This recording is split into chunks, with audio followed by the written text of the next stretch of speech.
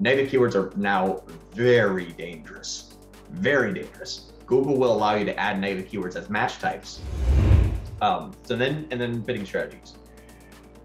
The bidding strategy for broad is it works a lot better with running wide open, which is what I like to like to call it. No TCPA and no ROAS, at least for about 60 days. The reason being is that it's learning the person. It's not learning the search term. That's why the search terms don't really make sense, but the results still come in. It's learning the people, and then it says whatever that person searches, eh, less important. Why? Well, there's not a big group of them. They're all spread out. This person wanted a, a cheap and this one was searching in Spanish for a surgeon. But I didn't make one change. And that's what was really interesting. It was just broad match and TCPA. That's it. This thing just grew legs on its own.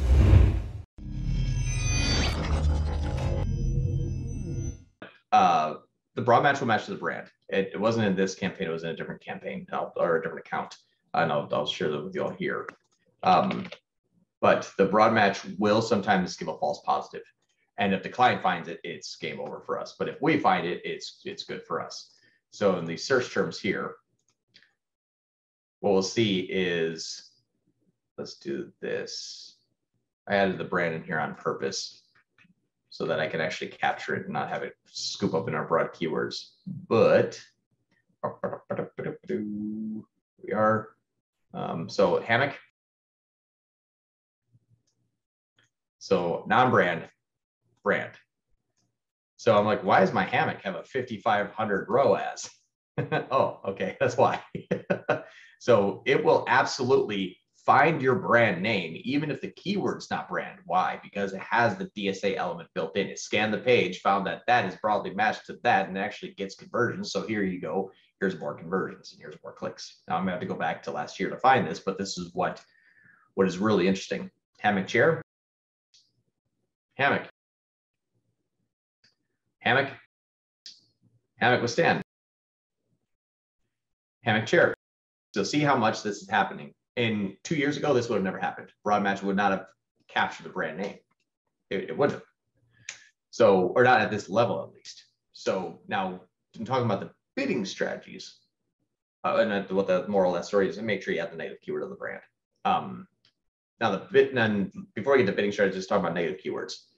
Negative keywords are now very dangerous, very dangerous. Google will allow you to add negative keywords as match types. But remember, the match types are now kind of just eh, close enough. Uh, a, a phrase match close variant. A hammock and the only hammocks, technically they're correct. It was a phrase match because it had hammock and hammock in there, and a close variant is eh, close enough.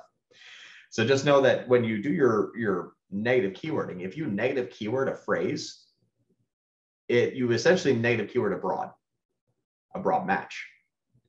So as just as wide and crazy as broad and phrases are starting to get now, same thing with our negative keywords. So sometimes we can accidentally stop a search term we wanted to come in from adding a negative keyword that Google said, wait a minute, that is also uh, that's also a thing. I'll give you a quick example for Solutions 8. We bid on pay per click advertising. It matched for get paid to click advertising. And I had an exact match, by the way. That shouldn't have happened. We all know that that match type shouldn't have should happened, but because Google is loosening the the um, loosening the restrictions on match types, you also have to think about the counter of that inside of exact and inside of negatives.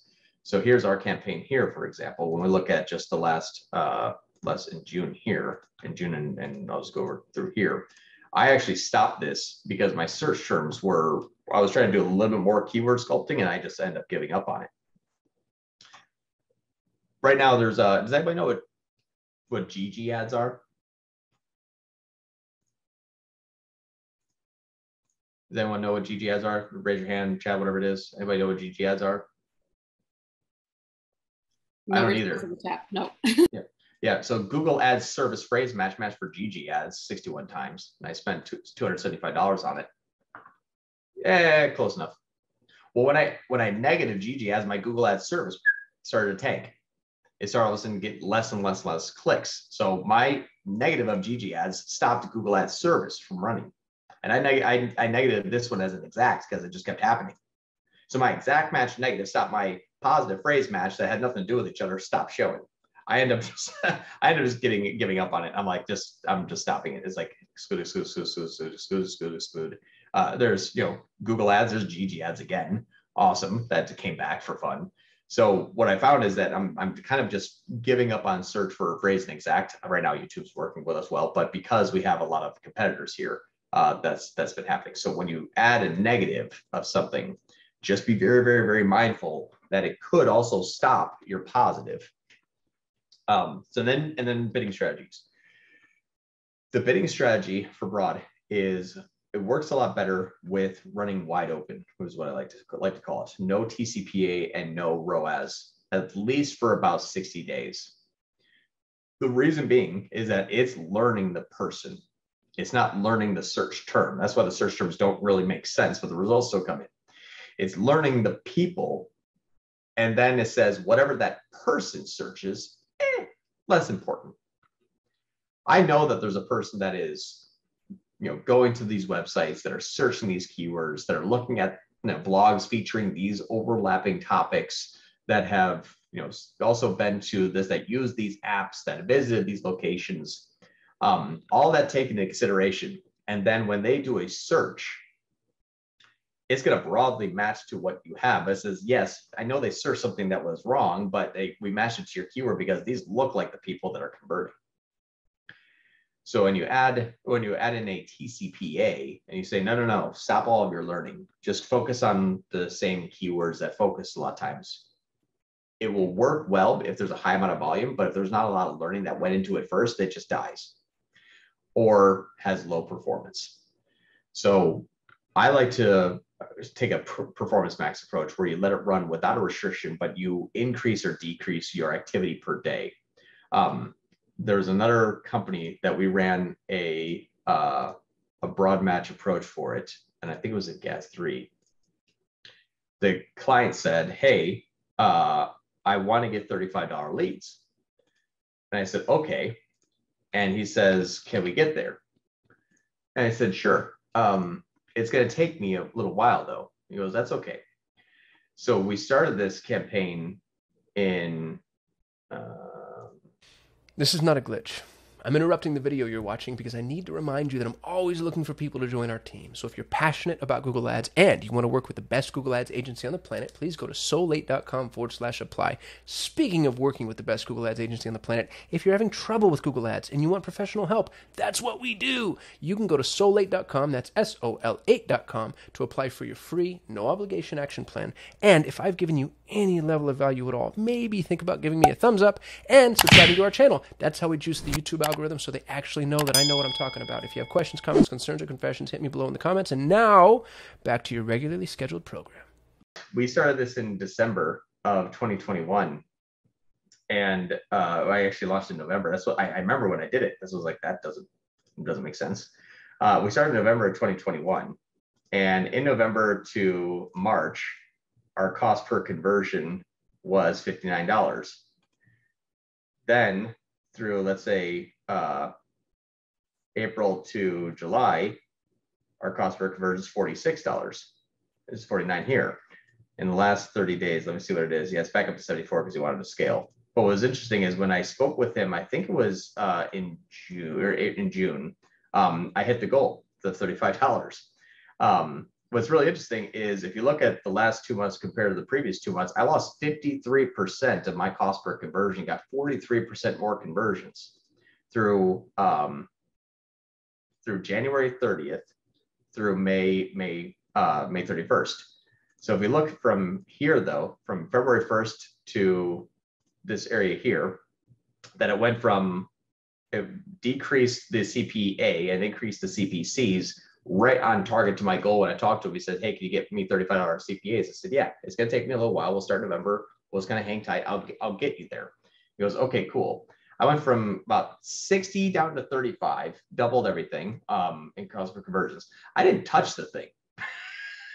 I changed history from February, March, April, May, June. I didn't make one change. I lost half of my CPA and I doubled the amount of conversions and I didn't make one change. Because I was using broad match, just letting Google do its thing. It was a test for a client. So I set up one time, I said, this will work eventually. And I just let it go. Uh, it was, it was an unpaid test. So I really didn't, I didn't really care to look at it every single day, but I did make one change. And that's what was really interesting. It was just broad match and TCPA. That's it. And this thing just grew legs on its own. Like there's, so what's scary about this? Oh, wait, that just changed visuals again. Uh, there we go. So what's scary about this whole thing is without making a change, that happened. Uh, now it's seasonality, but he was like, "Hey, great job getting it thirty-five dollars. I didn't think that was possible." And we're like, "Yeah, you got it. You know, hard work and dedication. I didn't touch the thing for six months." So that's what I'm saying is when you negative keyword yourself out, you don't need to. When you want to use broad match and target cost per acquisition, give it six months and it'll get there.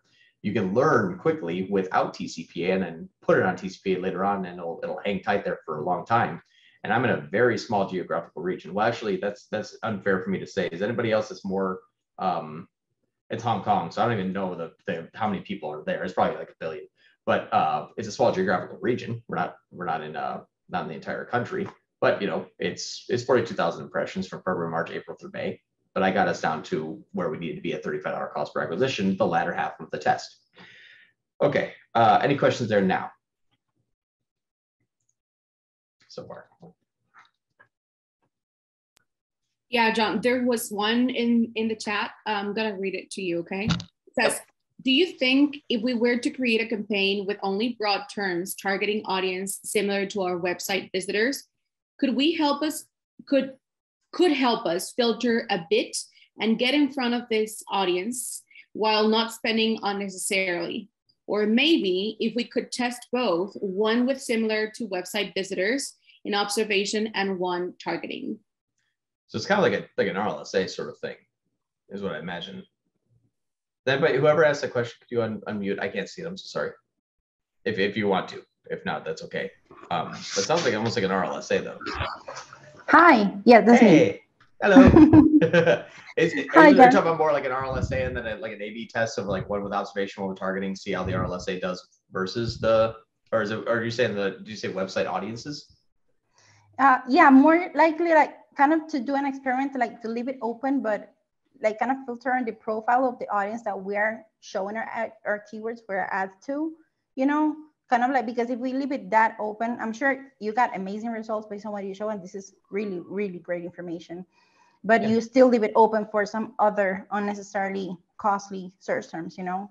So Yeah. I was thinking if we could filter it a bit, maybe or maybe we could just keep it in observation for a bit and see if most of our conversions are actually coming from the audience that are similar to our website visitors. Oh, similar to I'm stupid. I thought you said website uh website visitors. I'm I read I heard the question wrong. So I was like, well, I think a website visitor audience would be an RLSA. So you're saying put an observation mode on an audience of like essentially wide open plus similar to our audience and see who is capturing uh, what's getting the better result. That's brilliant. That's genius. Mhm. Uh, everyone go do that now, by the way. Uh, it's like, uh, all the special strategists and, and, and everyone do do that. That's an amazing, amazing idea. Um, thank you for that. That's awesome. Um, yeah, an observation mode of similar to our our website visitors to see which one is performing better on on broad. Um, the one thing that I would have to say that could be a potential fail point that we'd have to look at is because broad goes after so many like one impression, one clicks. Um, if they don't overlap that much, it doesn't necessarily mean that they didn't. It just means that I don't know if Google knew if they look like that when they had their first impression and first click. Um, because they're so widely spread out, uh, audience targeting may give you a false positive just because it was like the first time they searched the first click and it was kind of top of funnel. Did they look like our website visitors? There may not be enough information for Google to say yes based on their search patterns because it sometimes is so one click to conversion. Um, that's another reason why TCPA doesn't really work that well in the beginning is because we don't know who these people are. Why? Well, there's not a big group of them. They're all spread out. This person wanted a, a cheap BBL, and this one was searching in Spanish for a surgeon. Do they look like each other? Not really, but they both converted. Um, so it'd be interesting to see that test. That's brilliant for observation mode. Awesome. Cool. Thank you. Yeah. Oh my goodness, you guys, this is amazing. Uh, so first of all, um, shout out to Unkar on our team who figured this out. This is unbelievable. Uh, this is only the second time I'm doing this, by the way, so you're gonna watch me bumble through this. But uh, in the top menu here, go to reports, and when you're in reports, you're gonna say custom,